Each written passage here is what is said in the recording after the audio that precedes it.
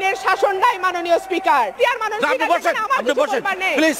বিএনপির সংরক্ষিত নারী আসনের সাংসদ রুমিন ফারহানা অভিযোগ করেছেন জনগণের করের কোটি কোটি টাকা খরচ করে দীর্ঘদিন ধরেই যুক্তরাষ্ট্রে লবিস্ট ফার্ম পুষছে সরকার। আজ রোববার জাতীয় সংসদে রাষ্ট্রপতির ভাষণের উপর রুমিন ফারহানা এসব অভিযোগ করেন। রুমিন ফারহানা বলেন পররাষ্ট্রমন্ত্রী সহ আর সব মন্ত্রী প্রথমে খুব কড়া ভাষায় যুক্তরাষ্ট্রকে আক্রমণ করলেও এখন গলার স্বর নিচু।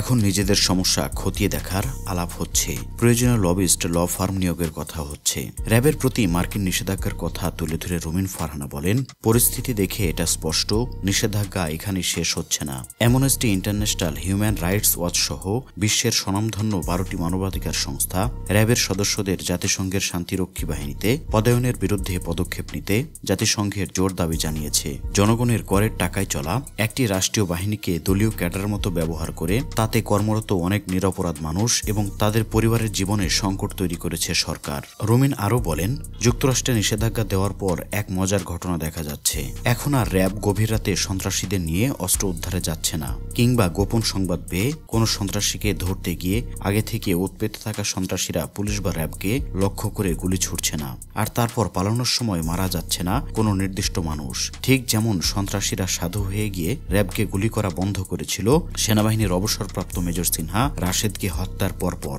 রোমিন বলেন, এখন মার্কিন চাপে নানা দিকে তোড়জোড় শুরু করেছে সরকার। মজার ব্যাপার, এখানেও আবার সঠিক পথে না গিয়ে উল্টো পথে হাঁটছে। গুম হওয়া বেশ কিছু মানুষের ব্যাপারে যেহেতু জাতিসংঘ তথ্য চেয়েছে, তাই সরকার ব্যাপারটির সমাধান করতে চাইছে। গুম হওয়া মানুষদের পরিবারের উপর নতুন করে নিপীড়ন চালিয়ে। শেষ দিকে রুমিন ফারহানা আরও বলেন, সরকারের বিদায়ের ঘণ্টা বেজেছে। পতন এখন সময়ের ব্যাপার মাত্র। রবিন ফারহানার এই কথাগুলো আপনাদের কাছে কেমন লাগল? অবশ্যই কমেন্টস করে জানাবেন। সত্য খবর সবার আগে পেতে মিডিয়া হার্টকে সাবস্ক্রাইব করুন।